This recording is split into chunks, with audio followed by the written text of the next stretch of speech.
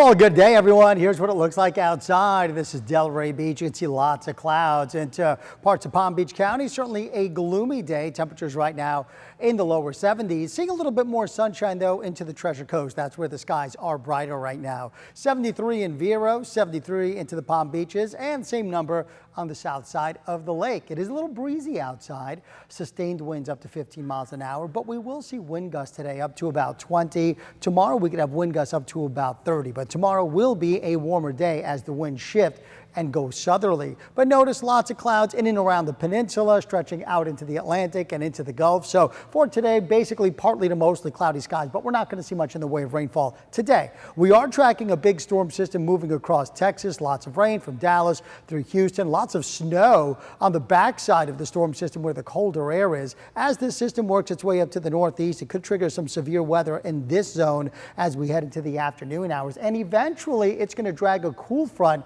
into South South Florida. Ahead of the front for today, high pressure is dominating to our north. That's going to help to stir up the wind and it's going to create that onshore flow, which is going to bring in some seasonal weather. Today, daytime highs, middle 70s. That's where we should be for this time of year. But tomorrow, a warm front comes through. The wind shifts and we go southerly, and that's going to warm us up into the middle 80s in some spots. And it's going to be a windy day, winds up to 30 miles an hour. Then here comes the front. The front comes in early Thursday morning. By the time it gets here, it's going to be weaker, so we're not going to see much rainfall out of it other than just a couple of scattered showers for the morning commute on Thursday. But then the front clears and behind it, the skies start to clear on out, but cooler air does come in behind that front.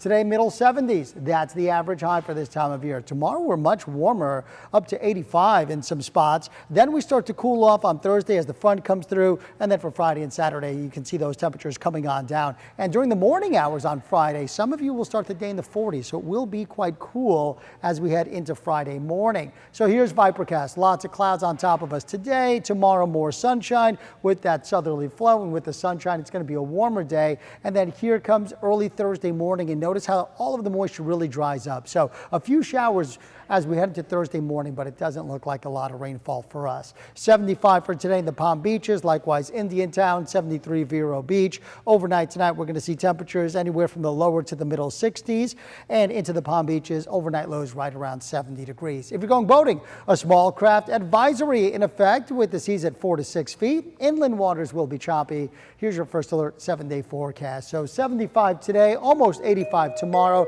Then we're cooler for the weekend. Saturday for the walk, the Susan G. Komen walk in downtown West Palm. It's going to be cool in the morning and then comfortable in the afternoon.